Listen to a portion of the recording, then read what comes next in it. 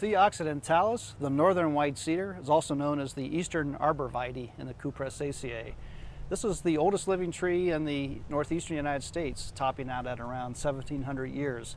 And it occurs very commonly in very dry uplands that are dominated by limestone and in very calcareous swamps called fens. The foliage is very distinct. It consists of scales that are flattened and the needles are very dark on the top side and very light on the underside.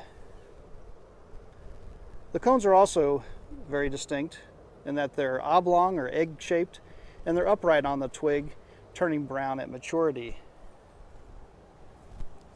The bark is similar to many members of the Cupressaceae and having very narrow ridges that are quite shreddy and with age, this tree will become almost a grayish to whitish color in appearance. It's a very striking tree, especially older specimens. It's also a very good landscape tree because of many horticultural varieties and its drought tolerance. It's a very functional tree. It's also used for cedar posts because of the rot-resistant wood. Thuja occidentalis, the arborvitae, or northern white cedar.